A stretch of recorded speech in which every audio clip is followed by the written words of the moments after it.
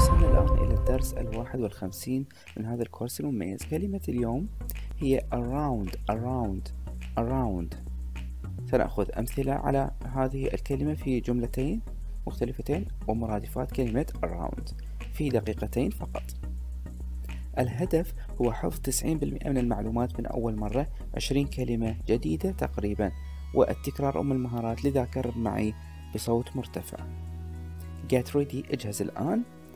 Write all the phrases so you need a notebook, a pencil, دفتر وقلم لتدون جميع العبارات. Just two minutes. إذا ركز معي.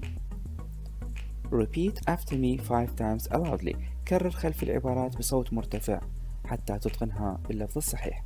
أما الآن اضغط على إعجاب سبسكرايب واشترك في القناة حتى تصلك جميع الدروس القادمة.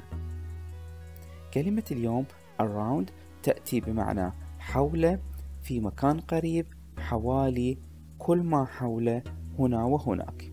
مجموعة من المعاني أهم هذه المعاني حول أو حوالي. نأخذ المثال الأول.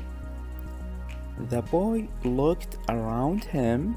The boy looked around him with wondering eyes. نظر الولد من حوله بعيون متسائلة أو بنظرة نظرة تساؤل أو استفهام. The boy looked around him The boy looked around him with wondering eyes فنكررها معا الآن The boy الولد looked looked around him من حوله with wondering eyes بعيون متسائلة أو بنظرة تساؤل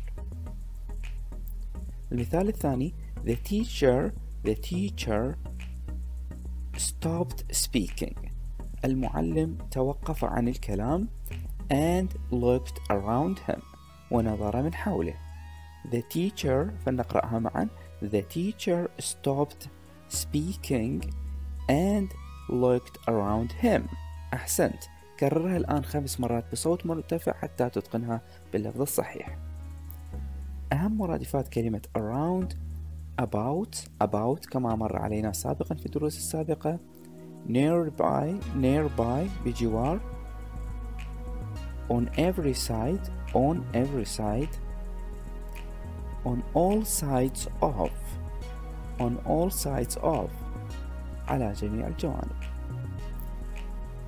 الآن حاول أن تكتب جملة باستخدام كلمة around.